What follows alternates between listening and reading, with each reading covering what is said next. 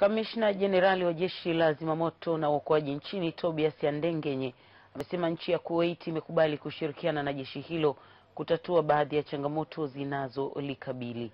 Akizungumza jijini Dar es Salaam alipotembelewa na balozi wa Kuwait nchini Jassim Al Najim, Kamishna Jenerali Yandengenye amesema jeshi hilo linakabiliwa na uhaba wa vifaa, jambo linalosababisha kushindwa kufanya kazi zake kiufanisi.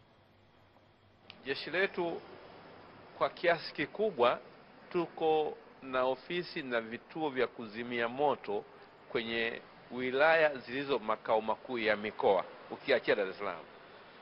Kwa hiyo kuna wilaya nyingi sana ambazo hatuna huduma za kuzima moto na ambazo kimsingi ni stahiki za Watanzania. Kwa hiyo programu tunayoendelea nayo ikiwa ni pamoja na kushawishi wadau werevu kutusaidia ni pamoja na kuhakikisha tunaendelea kuongeza fire stations katika wilaya mbalimbali ili kuweza kuwa karibu na wahitaji wa huduma zetu za zimamoto na uokoaji. Balozi Al-Najimu amefika ofisi za jeshi la zimamoto na uokoaji mkoa wa Ilala na kuonyeshwa vifaa mbalimbali vya uokoaji pamoja na kujionea changamoto zinazoikabili jeshi hilo.